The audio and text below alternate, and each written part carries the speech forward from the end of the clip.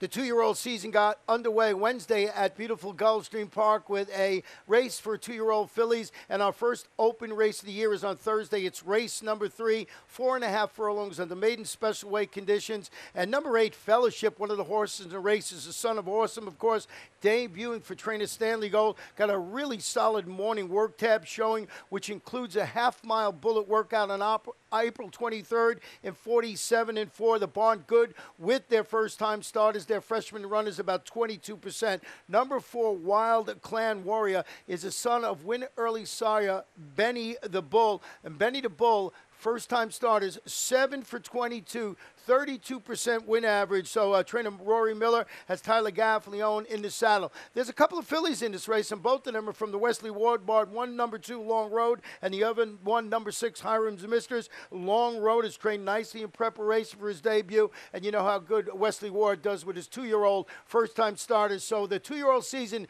is in full swing here at beautiful Gulfstream Park. Don't forget, first race post each and every day, 1 p.m p.m. We got exacta, trifecta, superfecta waging throughout the afternoon. The ever popular Rainbow Six.